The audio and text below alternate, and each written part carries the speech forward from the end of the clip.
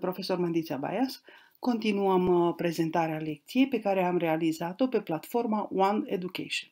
Lecția se numește Legea lui Om și vă spuneam și în uh, episoadele anterioare că am preluat o lecție gata creată și am inserat conținutul meu, aceasta din motive de, uh, de acces la tipurile de activități pe care doresc să le uh, inserez. Am ajuns la etapa de evaluare a ceea ce elevul a observat în lecția noastră. Și voi avea o activitate de, de tip corespondență și vă invit să urmăriți cum am realizat această activitate. Așadar, propun o activitate nouă. Ce tip de activitate aș vrea să inserez? De tip asociere. Așadar, am uh, inserat, am uh, ales această activitate de tip asociere și voi uh, introduce un text. R egal cu 0, adică etapa aceea când nu am avut nicio rezistență în circuit, ci doar ampermetru și bec. Cât era valoarea curentului indicat de ampermetru? 0,5 amperi. Așa era, ă, așa indica ampermetru. Când am avut R1, ampermetrul indica 0,25 amperi. Dacă nu ne amintim, ne putem duce înapoi la lecția, la activitatea anterioară să vedem uh, ce am uh, obținut. Uh, voi adăuga un element în partea dreaptă jos am caseta prin care eu adaug un element, R2 și valoarea obținută atunci era 0,1 parcă amperi, 0,1 amperi când am avut valoarea, când am avut rezistența R2 și mai adaug încă un element când am avut R3 și valoarea era 0,05 amperi. Așadar, eu am pus acum răspunsurile corecte. Titlul activității, voi scrie eu corespondență, I, R. O numesc așa ca și pe activitatea originală, corespondența intensitate-rezistență să editez cum trebuie, unește elementele din dreapta cu elementele corespunzătoare din stânga. Așadar, am creat acest exercițiu. Să vedem ce va vedea elevul nostru. Elevul nostru va vedea elementele acestea separate și va trebui să le uh, unească, să le pună împreună.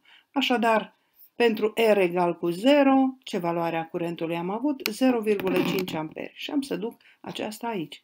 Pentru R egal cu 1 am avut 0,25. Nu e corect așa, am să duc aici la 0,25.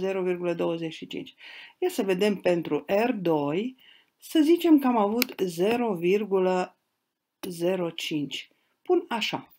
Și acum voi verifica, în dreapta jos am uh, caseta de verificare și Observați, sunt două răspunsuri care nu sunt corecte.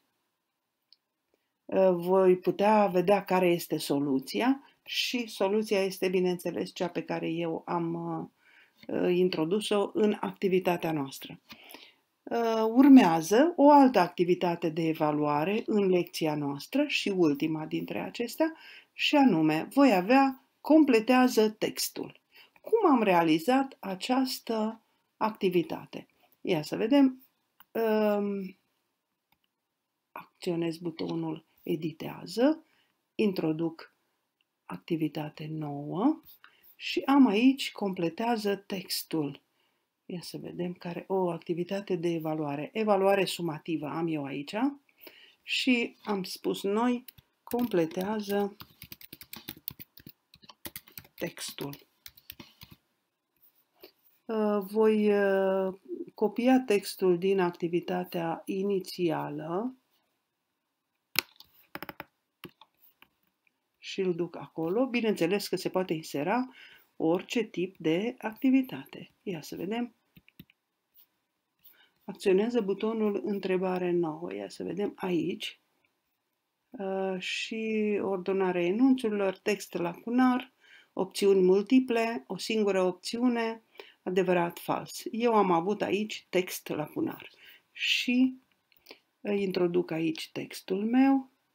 Observați că pot introduce mult mai multe, am mai multe opțiuni de a introduce o activitate de completare a textului. Uh, inserați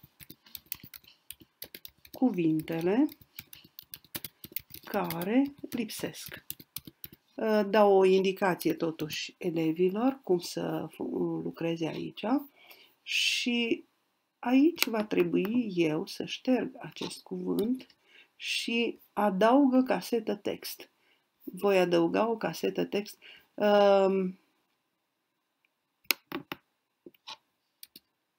este aici, uh, trebuie să adaug casetele text în locul în care um, trebuie să, să insereze elevul un cuvânt. Deci, intensitatea curentului pentru o porțiune de circuit este direct proporțională cu um, tensiunea electrică și invers proporțională cu și aici voi introduce text lacunar și o să vedem noi ce trebuie uh, introdus acolo. Așadar, am de completat cele două casete. Ia să vedem ce va vedea. Am uh, introdus un text uh, așa sumar. Elevul nostru va vedea acest lucru și va trebui să insereze. Este direct proporțională Aici ar trebui să introduc cuvântul direct. O să-l introduc. Sau să pun invers? Hai să pun invers proporțională și aici pun rezistența electrică și acum verifică. Observați că nu am pus răspunsul corect, tocmai pentru a vedea. Așadar, nu mi-a dat răspunsul corect. Invers proporțională cu rezistența electrică și voi avea ca soluție, ia să vedem răspunsuri, să le vedem. Este invers proporțională. Să corectez. Editează. Așadar, pot să pun aici direct și aici rezistența electrică. Acestea sunt și acum trebuie să văd, deoarece eu trebuia să introduc și răspunsurile care trebuie să se regăsească acolo, vizualizează și acum trebuie să introduc.